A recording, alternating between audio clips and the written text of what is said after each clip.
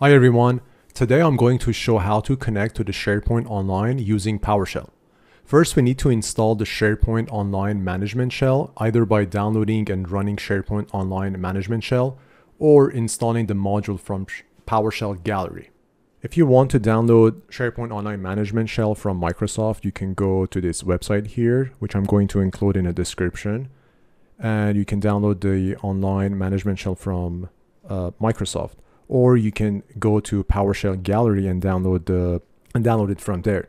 And if you notice here, the version here is the same as what Microsoft has here. So it's totally up to you. For this video, I'm going to install the module from PowerShell Gallery. So first I need to run PowerShell as an admin. One thing you have to uh, check, but uh, for the most part, you should be fine. Make sure you're running PowerShell 5 or newer. And if you're on Windows 10, most probably you're running uh, your version is either 5 or higher but if you want to check the PowerShell version you can run this command. And as you can see here's the version. So we're good. Now I need to install the module. And here's the command. So the command's already here. I can just copy it from here from the site and paste it here. I'm installing this module for the first time and the installation process may take a few minutes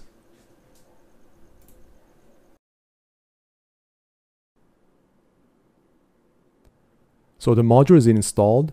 Now I can connect to the SharePoint Online. I can connect it in two ways. I can use user username and or password, or if you have multi-factor authentication enabled in your tenant, you can use or connect that way.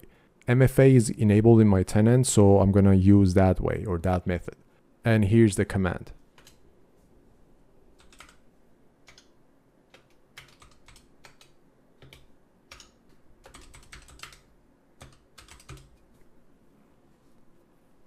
So here, that's the name of uh, my company or the account that I'd register with Microsoft in Office 365. So whatever the company name or the account that you have registered with Microsoft, you got to put that here and dash admin. Now I'm going to press enter. I should, I need to log in now.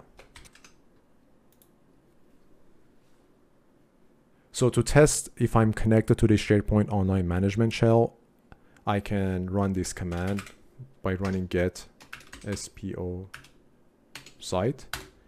And I should be able to see every single site that is created in my tenant. And, and, and as you can see here's all my site all my SharePoint site in my tenant. As I mentioned in the beginning of this video if you don't have MFA in your tenant you can use user username and password. I'm going to include the command in the description of this video but that's all for today. This was a quick video just show you how you can connect to the SharePoint Online using PowerShell. On my next video, I'm going to go over a few more commands that you can manage SharePoint on online using PowerShell. Let me know if you have any questions. See you all next time.